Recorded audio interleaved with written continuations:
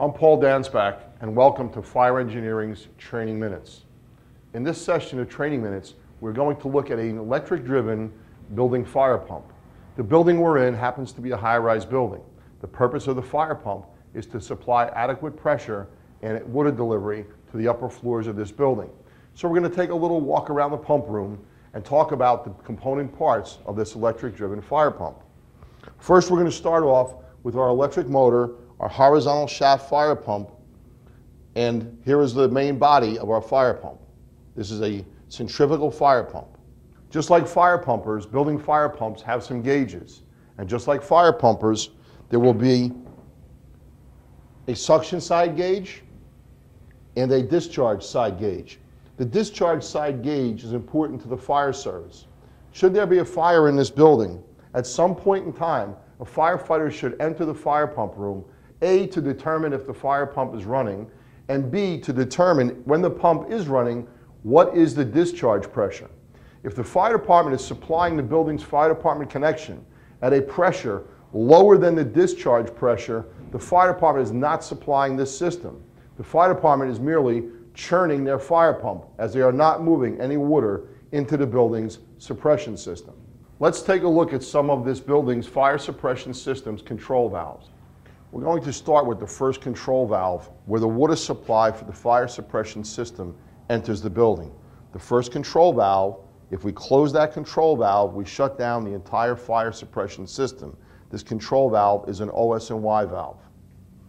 As we move further into the system, we encounter a series of valves arranged on the fire pump bypass loop. The purpose of a fire pump bypass loop is to allow water at street pressure to come into the building's system bypassing the building fire pump.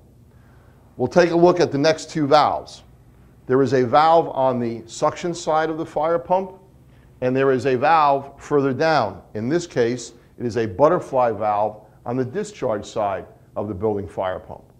Those two valves allow the fire protection contractor to separate the fire pump from the system.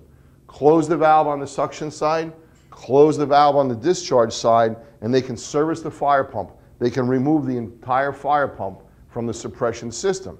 Back to the bypass loop. With the bypass loop in place, when the fire pump is out of service, water can move around the fire pump in the bypass loop and supply the building's sprinkler and standpipe system at street pressure. The fire department would be able to pump up the fire department connection. In this case, we see this four inch pipe. This four inch pipe is piped into the bypass loop. Any fire department connection piping on a building provided with a building fire pump has to be piped into the discharge side of the building fire pump. This arrangement of piping and valves will allow the fire department to supply the system when the building fire pump is out of service. Building fire pumps are provided with a fire pump controller. The purpose of the fire pump controller is to start the building fire pump. The fire pump controller senses a drop in pressure. For instance, if there's a fire in progress, and two or three sprinkler heads open, the pressure on the discharge side of the fire pump will drop. The fire pump controller will sense that drop in pressure and automatically start the building fire pump. A couple of component parts that the firefighters should be aware of on the building fire pump controller is number one is the on-off switch.